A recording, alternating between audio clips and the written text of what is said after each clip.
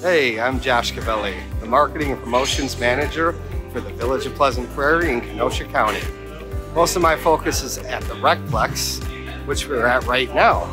It's the largest municipal recreation facility in America, providing state-of-the-art fitness center, athletic field house with suspended indoor track, an aqua arena with 50-meter Olympic-sized pool, an indoor water park, it's a current channel, lap lanes, and a hot tub. An ice arena with two NHL-sized ice rinks and a pro shop. In addition to our indoor facilities, we have many outdoor facilities available as well. Being located in Prairie Springs Park, including six ball fields, playgrounds, picnic areas, sand volleyball courts, and a 2.3 walking path around Lake Andrew.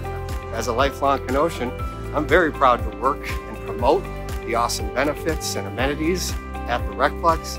If you're in the area, please stop by and check it out. We're just another reason to love Kenosha County.